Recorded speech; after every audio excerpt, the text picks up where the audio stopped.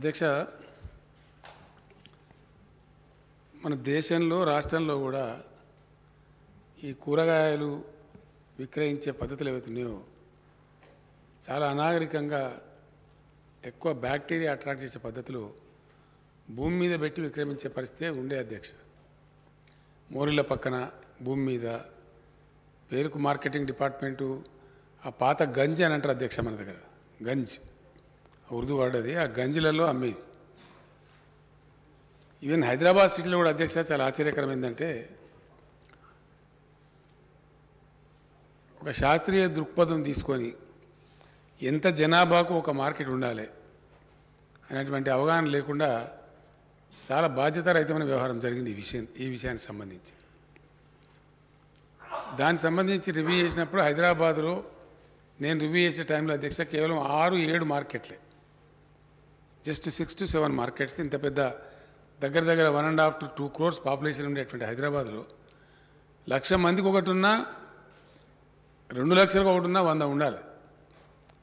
అట్లాంటిది అట్లా ఉంది. అట్లనే తాలూకా కేంద్రాలలో కూడా ఎక్కడ చూసినా మనం మనకందరికి తెలుసా అధ్యక్ష ఆ పాత గంజిలలో చాలా కంజెస్టెడ్ ఏరియాలో అన్ని ఊగల మీద ఊగలబడ్డ పరిస్థితులలో దుమ్ము ధూళి భయంకరమైన పద్ధతి అధ్యక్ష. వాస్తవానికి అప్రిషియేట్ చేయాలి. మోండా మార్కెట్. నిజాం గవర్నమెంట్లో కట్టినటువంటి మార్కెట్ అధ్యక్ష. చూసినప్పుడు దాన్ని సందర్శన పోయినప్పుడు నేను కూడా ఆశ్చర్యపడ్డాను. ఇట్లా ఉందా అని చెప్పి. యాక్చువల్లీ చాలా విషయాలు చాలామందికి అర్థం కావు అధ్యక్ష. ఈ conceptualisation of integrated veg and non veg markets రాష్ట్ర ప్రభుత్వం ఎందుకు చేసిందంటే ఈ డైనింగ్ టేబుల్ కాన్సెప్ట్ ఉంది అధ్యక్ష. అంటే జనరల్గా డైనింగ్ టేబుల్కి పోతే కాళ్ళకున్న చెప్పులు కానీ షూస్ కానీ వదిలిపెట్టకుండానే భోజనం చేస్తూ ఉంటాం. అదే గతంలో అయితే మన ఇళ్ళలో భోజనం చేసే పరిస్థితులు అయితే మనకు అతిథి వచ్చినా మన ఇంటికి చుట్టం వచ్చినా ఖచ్చితంగా మెయిన్ గేట్ దగ్గరనే ఆ చెప్పులు అక్కడ వదిలేసి గోలేమో గంగాలమో ఉంటే అక్కడ నీళ్ళు ఇస్తే కాళ్ళు కడుక్కొని ఇంట్లోకి రావాలి. అట్లా నియమాలు మన దగ్గర ఉండేది మనం చిన్నప్పుడు చూసినాం అధ్యక్ష. భోజనం చేస్తే కూడా మనం కింద కూర్చొని ముందు పీట పెట్టుకొని నీళ్ళు తీసుకొని దాని చుట్టూ నీళ్ళు చల్లి మనం భోజనం చేసేవాళ్ళం. ఎందుకంటే బ్యాక్టీరియా మనం తినే పదార్థాలకు రావద్దనేది కాన్సెప్ట్ అధ్యక్ష. అట్లానే ఇంగ్లీష్ వాళ్ళు చాలా తెలివిగా ఈ డైనింగ్ టేబుల్ కాన్సెప్ట్ తెచ్చినారు అధ్యక్ష. వాళ్ళే కనిపెట్టినది అంటే ఎన్ని ఫీట్ల ఎత్తులో ఉంటే అనేక లక్షల బ్యాక్టీరియా రాకుండా ఉంటుంది అని శాస్త్రీయంగా నిర్ధారణ చేసుకొని two and half feets height తర్వాత అనేక లక్షల బ్యాక్టీరియా రాకుండా ఉంటుంది. కాబట్టి ఆ two and half feet and above dining table పెట్టుకుంటే సేఫ్ ఉంటామని చెప్పి వాళ్ళు చేసినారు అధ్యక్ష. దాంతో మనం కాళ్ళ చెప్పులు కానీ షూస్ కానీ ఉదయం మామూలుగా మనం హోటల్లో పోతే ఎట్లా తింటాం అధ్యక్ష? టేబుల్ మీద కూర్చొని తింటే ఇప్పుడు షూస్ ఎవరు వదిలేస్తలేరు. మన స్టాఫ్ కూడా మధ్యాహ్నం లంచ్కి పోతే షూస్తో అట్లే చేసి అట్లే తినేస్తారు. కారణం ఏంటంటే టేబుల్ మీద తింటారు కాబట్టి ఆ ప్రమాదం లేదు. ఆ కాన్సెప్ట్లోనే కూరగాయలు కానీ మాంసం కానీ చేపలు కానీ ఇతర వస్తువులు కానీ పర్టికులర్లీ మనుషులు భుజించేటువంటి ఆహారం తీసుకునేటువంటివి ఖచ్చితంగా టూ అండ్ హాఫ్ ఫీట్ సైట్లో ఉండాలి అధ్యక్ష. నిజంగా ఇప్పుడు మనం మోండా మార్కెట్కి వెళ్తే తమరు కూడా కోరుతున్నప్పుడు టైం దొరికినప్పుడు చూడండి. తమరు చూసే ఉంటారు ఒకరు చూడకపోతే చూడండి.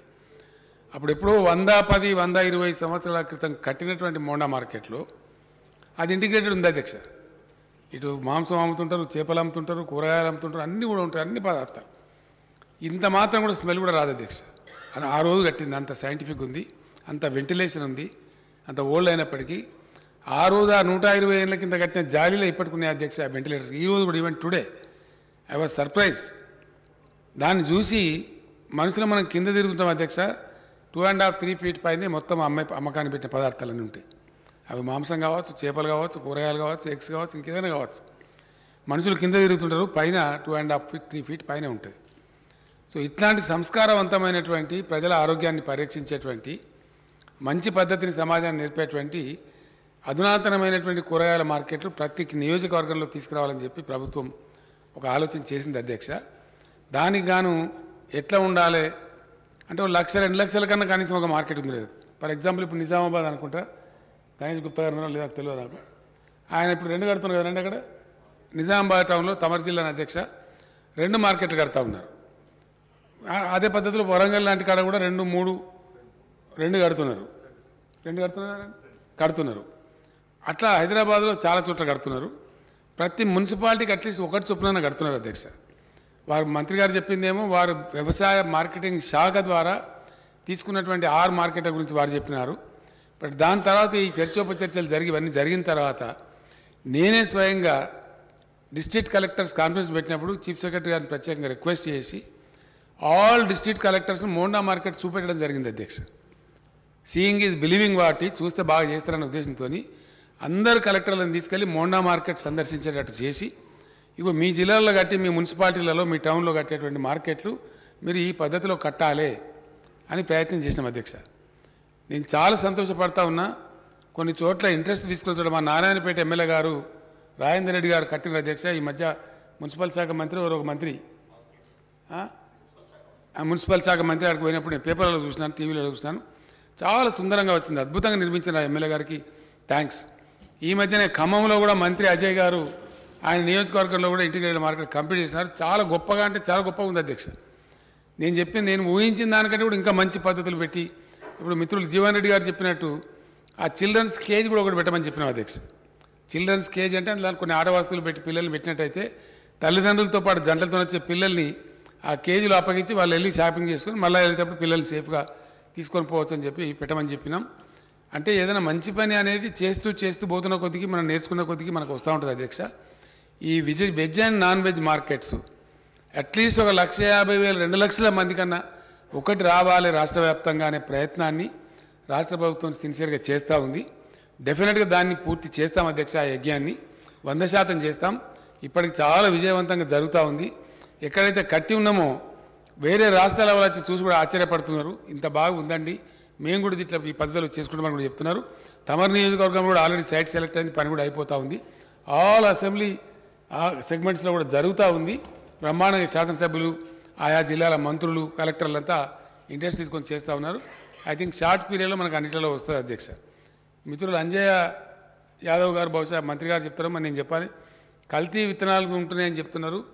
అది ఎందుకు ఆ పాత మహబూబ్నగర్లోనే దరిద్రం ఎక్కువ అధ్యక్ష. పీడీ యాక్ట్ పెట్టి చాలామంది లోపల కూడా వేసినాము. అయినా వాళ్ళకి ఇంకా బుద్ధి వస్తున్నట్లేదు. తప్పకుండా మంత్రి గారు సొంత జిల్లానే కాబట్టి పాత జిల్లా ఉమ్మడి జిల్లా. స్టెర్న్ యాక్షన్ ఈ కల్తీ స్పురియస్ సీడ్ ఏదైతే ఉందో దాన్ని నిరోధించడానికి ఏ రాష్ట్రంలో ఇండియాలో పీడీ యాక్ట్ లేదు అధ్యక్ష. కేంద్ర ప్రభుత్వం కూడా మమ్మల్ని చాలా సతాయించింది. కల్తీ విత్తనాలకు పీడీ యాక్ట్ ఎందుకండి అంటే మాకు అవసరం ఉందండి మా దగ్గర దుర్మార్గం ఎక్కువ ఉందని చెప్పి ఫైట్ చేసి రెండు మూడు నెలలు ఆలస్యమైనా సరే మంత్రి గారు ఒక ఐదు సార్లు పది సార్లు ఢిల్లీకి వెళ్ళి వారు మంత్రి గారు కూడా స్వయంగా లాయర్ కాబట్టి ఈ కారణాల రీత్యా ఈ కారణాల రీత్యా మాకు అవసరమని ఆ మినిస్ట్రీని లా మినిస్ట్రీని కన్విన్స్ చేసి తీసుకొని రావడం జరిగింది. చాలామందిని పీడీ యాక్ట్లో అరెస్ట్ కూడా చేసినాం. డెఫినెట్గా చాలా కఠినమైన చర్యలు తీసుకుంటాం. ఎట్టి పరిస్థితులను వాళ్ళు ఉపేక్షించే ప్రశ్న ఉండదు. తప్పకుండా కల్తీ విత్తన విత్తనాల యొక్క బెడదను మన రాష్ట్రానికి లేకుండా ప్రభుత్వం అన్ని చర్యలు తీసుకుంటుందని మనవి చేస్తా ఉన్నది